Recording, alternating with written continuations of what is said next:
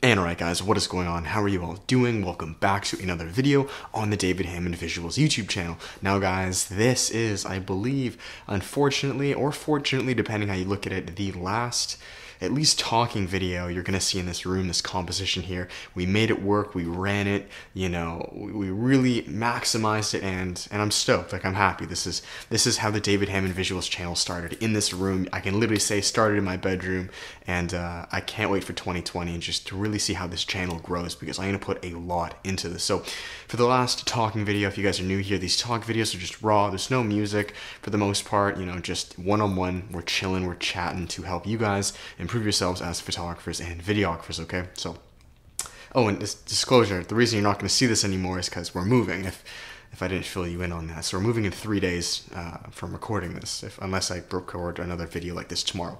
Anyways, so guys, in this video, you read the title.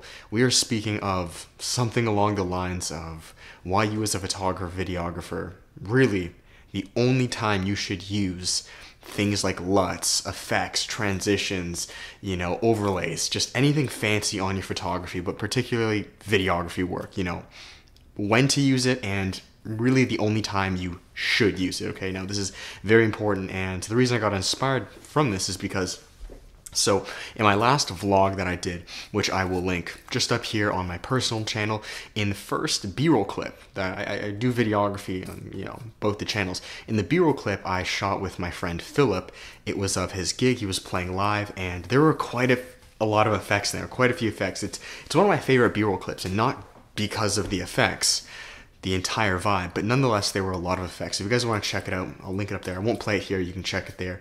Um, and what I noticed is that obviously things that include a lot of eye candy usually get attention. So I showed the family, I showed them, and they were obviously super stoked. Not just because the effects, but um, the effects did help. Now I want to make it very clear to you guys that I don't think, and I don't use effects on every single video. I use them very sparingly and I just kind of sprinkle them in here and there.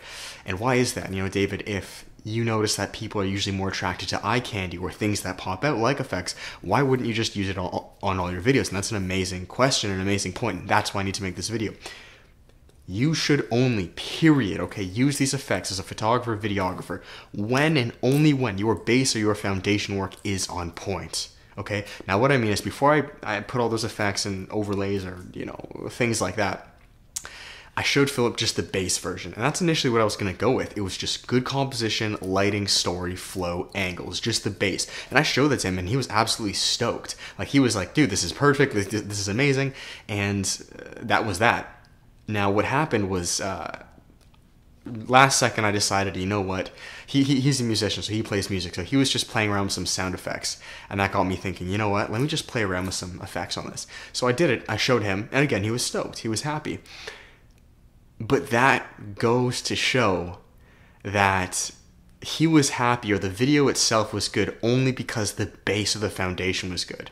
You know, never did, never like, you know what I mean? Like some people, it's so funny, they'll never show you something until all the little effects and little things are sprinkled on. And in my opinion, if that's the case, then that's really saying a lot about your base, your foundation. You know, you can relate this to fitness or anything. Like so many people just look for that quick little finishing touch, whether that's the supplements or, you know, don't look at me unless I have a massive pump, you know, like if your foundation, your core, your heavy lifts, your numbers, I'm referring this to strength, if they're on point, it doesn't worry about all these superficial things of how pumped you are or how good your tank top looks and oh you took your supplements this day like none of that stuff matters none of it and you can relate this with anything fashion anything like i'm not a fashion expert but like you know some people won't leave the house if they don't have their chains on and their jewelry and all these little things like and look at me i'm wearing these things right but it doesn't matter. Like I can take this off in a second and go out because your base is on point, right? Your charisma, who you are, you got a nice shirt, you got some cool pants. Like you just need your foundation.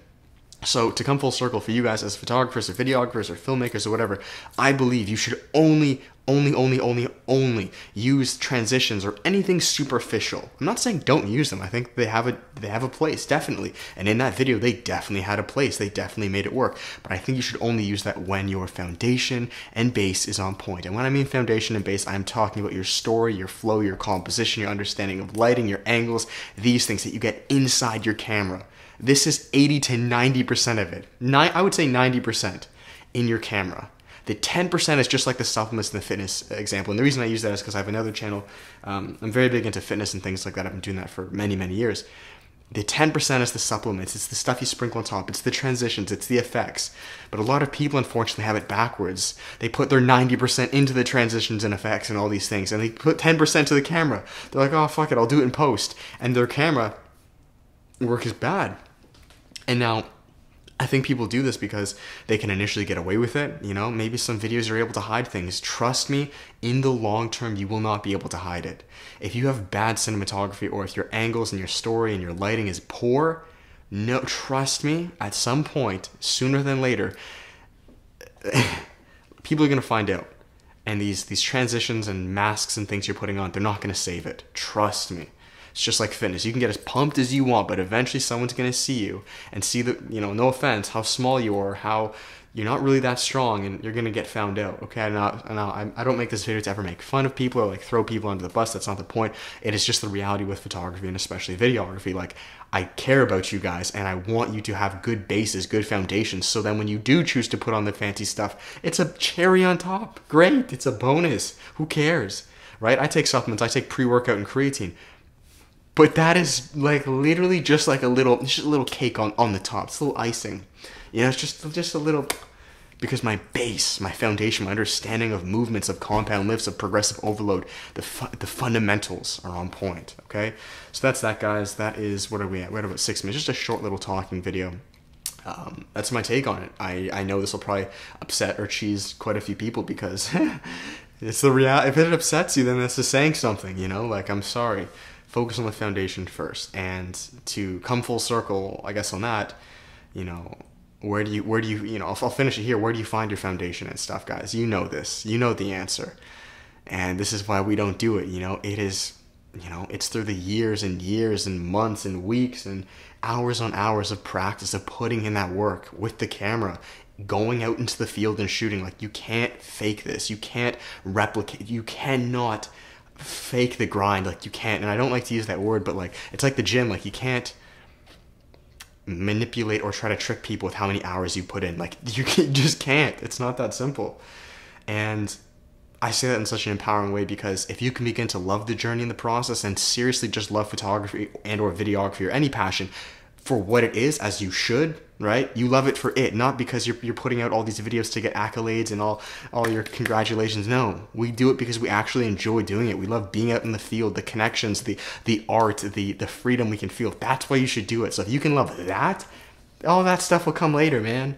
The cherry on top the accolades the this the that that all comes later right so love the process, get good at your foundation, get good at your camera, go out, shoot, practice, and that is that. And I'll finish it on this plug. This is not why I just made this video by any means, but the reason I make this YouTube channel, my courses, my my entire brand of David Hammond Visuals is to be that foundation for you guys. Because when I first started off about four years ago, I'm not gonna say there was no help, but like it was very uh, sporadic and scarce. Like it, like I learned through doing, okay?